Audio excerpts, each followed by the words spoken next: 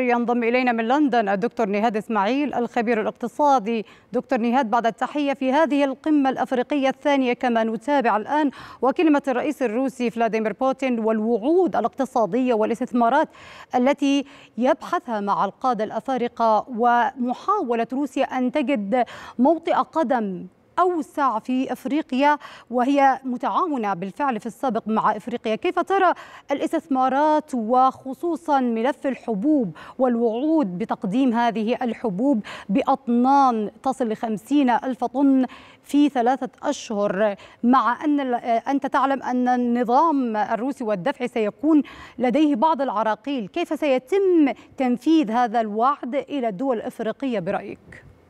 نعم شكرا رشا على الاستضافة في هذه التغطية الهامة الخاصة بما يتعلق بالمؤتمر الذي يعقد المؤتمر إفريقيا روسيا في بطرسبرغ.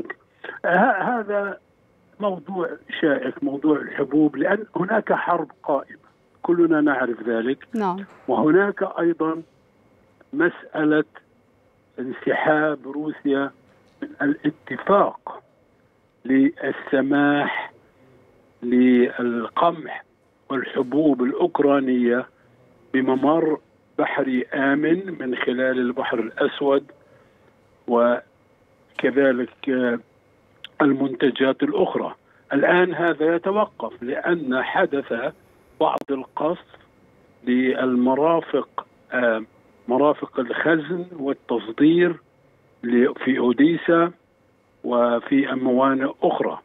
لذلك هذا أدى طبعا إلى توقف القمح من الوصول إلى المناطق في إفريقيا خاصة شرق إفريقيا. هناك دول فقيرة تعاني من نقص في الأمن الغذائي.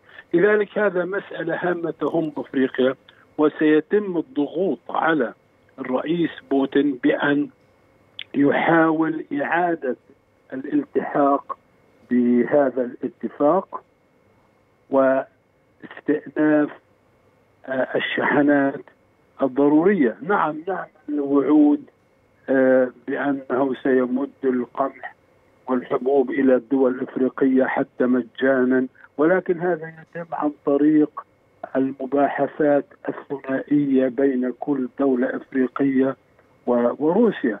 الآن المسألة ليست بتلك السهولة. نعم. ستواجه روسيا ستواجه صعوبات كبيرة في اللوجستيات. من؟ سيدفع تكلفة الشحن. جاء مقترح من روسيا وكان في صحيفة الجارديان البريطانية يقول أن بوتين اقترح خطة بموجبها قطر تدفع تكلفة شحن القمح لتركيا ومن هناك يتم إرسالها للدول الفقيرة. نعم. لكن من غير الواضح أن الدول الوسيطة وهي تركيا وقطر قد وافقتا على ذلك. لم يتم لم نسمع أو نقرأ عن أي موافقة من هذه الدول. لذلك افريقيا ما تحتاجه هو في الواقع ترجمة حقيقية للوعود. تريد أفعال وتريد نتائج ملموسة ولا تريد وعود شفهية فقط من أجل الاستهلاك الإعلامي. نعم. افريقيا أيضا تشعر أن انسحاب روسيا من اتفاق الحبوب هو حتى أحد المسؤولين الكبار في حكومة كينيا وضع على تويتر تعليق قال أن هذا طعن في الخلف للأمن الغذائي في إفريقيا خاصة في القرن الإفريقي آه الذي يشمل الصومال، جيبوتي، إريتريا، إثيوبيا.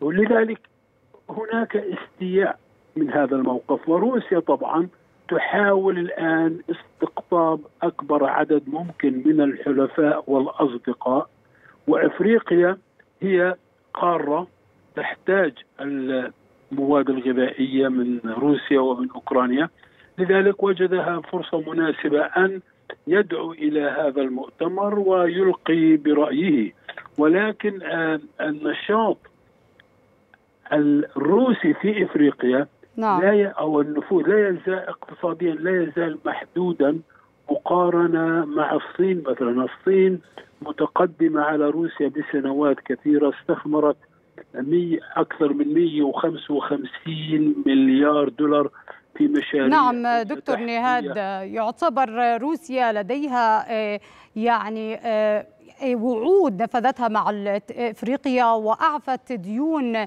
هائلة بالمليارات لإفريقيا. وهي في هذه القمة تعرف ماذا تريد في هذه القمة والوعود التي وعدت بها تدل على أنها لن تمدد روسيا اتفاقية الحبوب في حال حتى تدخل الجانب التركي أو الجانب الأمم المتحدة. على كل سنتابع ما سينتج عن هذه القمة وهذه الاجتماعات مع الأفارقة. أشكرك كنت معي من لندن الدكتور نهاد إسماعيل الخبير الاقتصادي. أشكرك على هذه المشاركة.